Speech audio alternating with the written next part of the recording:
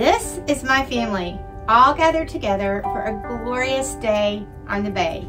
But once again, it didn't work because we had a major boat problem. Stay tuned to see how it all went down. Hey y'all, welcome to the Sea Y'all Life.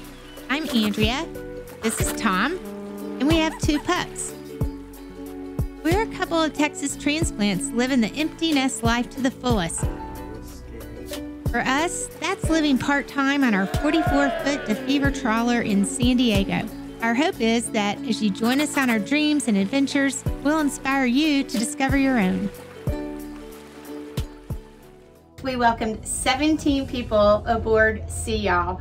We had balloons, had a crock pot full of food, birthday cake, about a huge inflatable raft. We had the paddle boards all set. We were all ready to go. Dozens and dozens of times, back the boat up, both in reverse, clear the dock, and then I go hard to port with the starboard engine in forward and the port engine in reverse. But nothing was moving. It just kept on drifting back, turning slightly, but against the dock, not giving me a full turn like it normally does. So when you have 17 landlubbers on the boat that don't really know what's going on, I certainly knew what was going on, but um, you had about 17 different people screaming, go forward, go back, go right. Watch out for the sailboat. Go left, you're gonna hit the grill on the sailboat.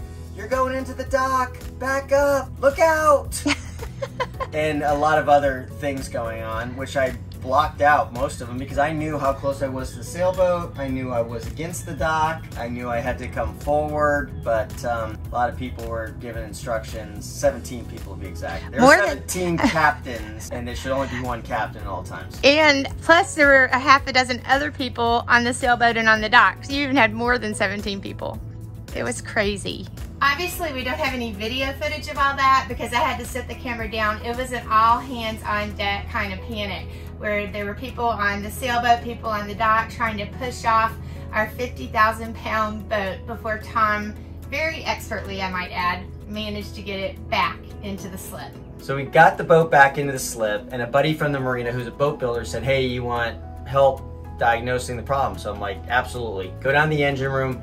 We found one of the fill caps on the transmission was not screwed down. So we're thinking that could be the problem. The transmission fluid's supposed to be pressurized, so we tighten that down. We're thinking maybe that's it. But then Trevor said, Hey, let's try um, the engines in gear and look at the prop wash. So Captain Tommy, Roger. we're troubleshooting the problem. Yeah. It's hot down there, but I can. I like how everybody's screaming at me when, uh, at the helm. I know what the problem was. Yeah, yeah. Okay, I'm gonna go. I'll go soft. I'm just gonna go in one direction, the same direction that I know I need. Tell me when you're ready, Trevor. Okay, I was going um, reverse on actual um, port and forward on starboard. See if you see reverse on port.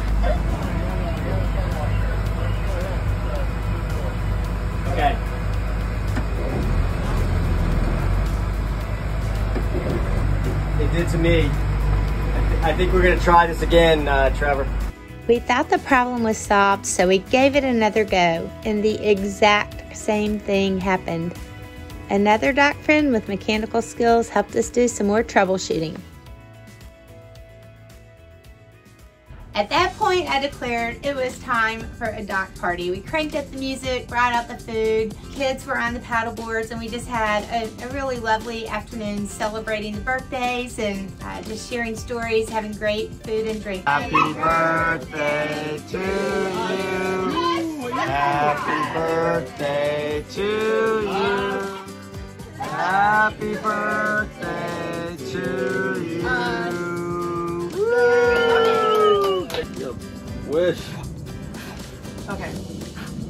COVID. But honestly, it was really, really frustrating all the plans we had put into the day to once again have this kind of a problem spoil the fun. The crazy thing is, our boat has been working just fine until we hired a new mechanic to do some preventative maintenance in the last few months. And since then, we keep having problem after problem.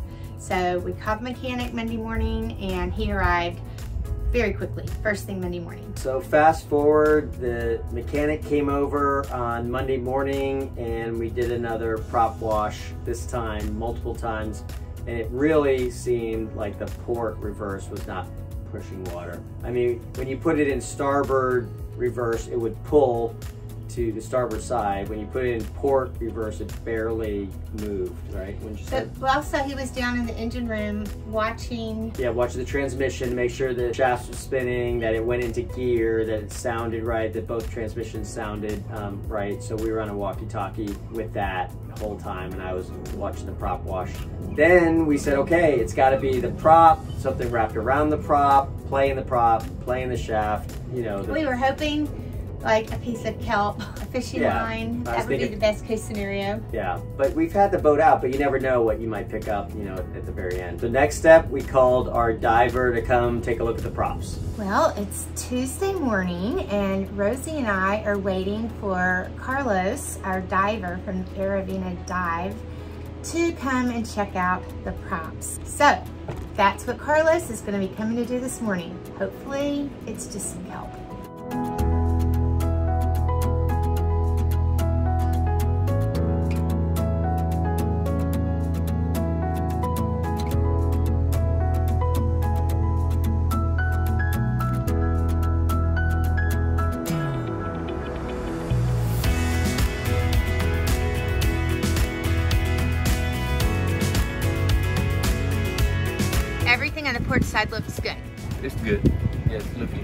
Same like always. and has um, I know when we pulled it out a couple years ago, there was a lot of pitting. Is it gotten really bad, or is it still okay in your opinion? It's still okay. So from what you could see down there, there's no reason to your eye why the port side won't. Underneath. It. Okay.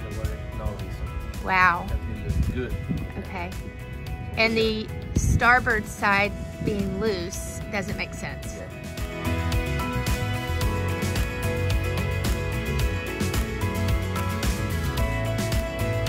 So I called another mechanic that's worked on the boat in the past that I really like. We like our current mechanic too. But just to get another opinion, which is dangerous because now you're going to get a lot of different opinions from different people. But he had a couple ideas on things that we should check that are pretty simple. As the old saying goes that we like to say, when you hear hooves at the front door, think horses, not zebras, which means think of the most simple thing first. So if the lamp doesn't work, is it plugged in? Is there a light bulb in it? Is the light bulb screwed in? That type of stuff versus trying to rewire the whole lamp or think that it's your whole electrical system. So let's try one of his theories. Let's do it. So my other mechanic suggested was the rudder in the center position. And I said, well, I always check the rudder indicator. And he said, well, don't trust the rudder indicator. Do the test where you turn the wheel hard to the left and hard to the right and count the turns. So the rudder indicator right now, which I'm not gonna trust, but let's assume it's in the center. I'll put the tape right here. So. Oh, the horns are driving us yeah. crazy. Okay, so let's count right now together. We're gonna go hard to the left. That was one and a half, two, and this is almost three. Okay, see what that is right there. Okay, hard left or hard to port, okay? So now we're gonna recenter it again. Okay, so we're back to where we think is center. So we had three hard to port, and now we're gonna go hard to starboard. That's one, that's two, and that's two and not even three quarters, okay? So you may say, well, Tom, you weren't even using your steering wheel when you were backing up. You always use just the, the props and the engine. That's true, but this would say that, oh, wait a minute, you are centered by your indicator but not really because it's not matching up. So the rudders could have been off. So the final conclusion is the we looked at the rudder in the back. So the rudders could have been off slightly and not helping me turn hard to port because the rudder indicator is off. That would be sort of a really good case scenario, right? Yes, and then the other thing we want to check for good measure is the actual rudder mechanism that's under our bed to make sure every all the linkage is working back there when we turn it hard to starboard, hard to port. One other thing that my other mechanic said was did the diver check the prop against the keyway to make sure it was tight, not slipping or anything else. The diver did confirm that he did that.